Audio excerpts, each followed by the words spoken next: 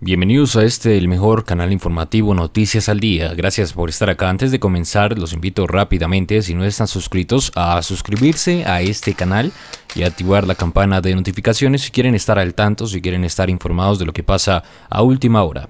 Estados Unidos sanciona a dos socios de confianza del hijo de Nicolás Maduro.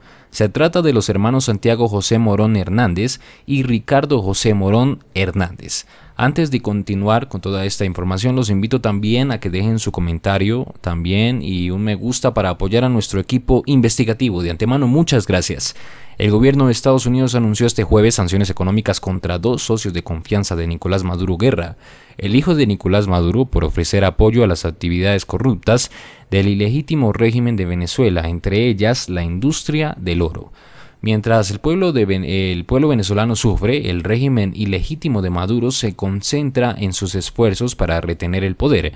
Estados Unidos está comprometido a perseguir a individuos que facilitan eh, o permiten que este régimen continúe ignorando el bienestar del pueblo venezolano, dijo Steven Múnich, secretario del Tesoro, en un comunicado.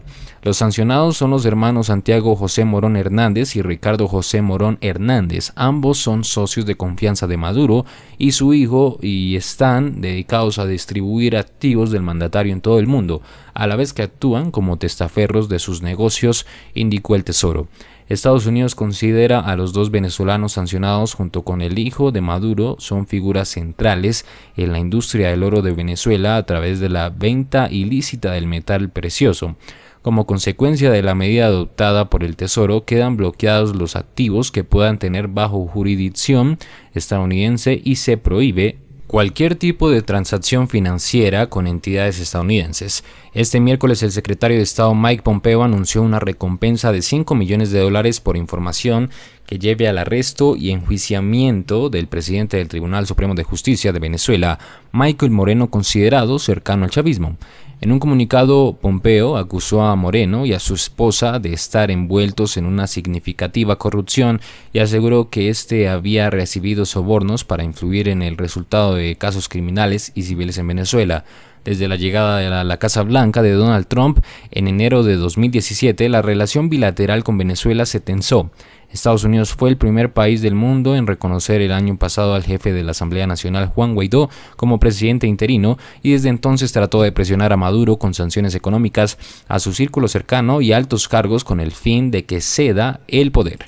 ¿Qué opinan de esta información? Nuevamente los invito a suscribirse y activar la campana de notificaciones si quieren estar al tanto, si quieren estar bien informados de lo que pasa a última hora. Recuerden dejar un comentario en este video y un me gusta también para apoyar a todo nuestro equipo investigativo. No olviden también compartir a través de redes sociales. Es muy importante que el mundo sepa toda esta información.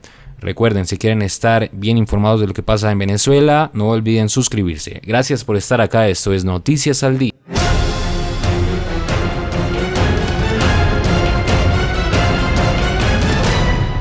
Si no te quieres perder de los últimos acontecimientos que pasan en el mundo, suscríbete y activa la campana. Somos Noticias al Día.